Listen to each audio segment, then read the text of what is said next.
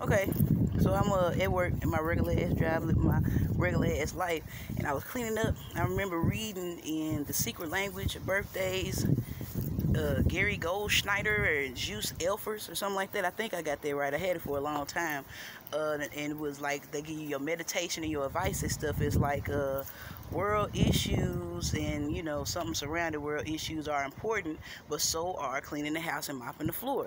And i noticed that like before i even read it i come up with my bet not my best ideas but damn sure gonna come up with some type of idea. So i just got through mopping like um, boiled some water swept the floor and then mopped it. And then like while i was mopping came up with a uh, we wish you quit pitching bitch fits. We wish you quit pitching bitch fits. We wish you quit pitching bitch fits. Get this buddy, my dear. No! I want a bitch. I want to piss him on. And I'm to do it while I mop the floor, apparently. But we wish you quit pitching bitch fits. We wish you quit pitching bitch fits. We wish you quit pitching bitch fits. Get this money, my dear.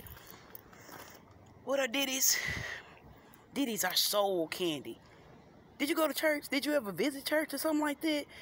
Old ladies, OGs, hashtag, uh, hashtag mothers of the church, they had those little strawberry candies, had peppermints, and if they were some real G's, they had green and red. They, they had spearmint and peppermint. That's what ditties are, man. It's soul candy. But they'll give you soul candy and then watch the usher come fuck with you for rattling paper. And that's a bitch fit. That's why I'm not gonna quit. Later.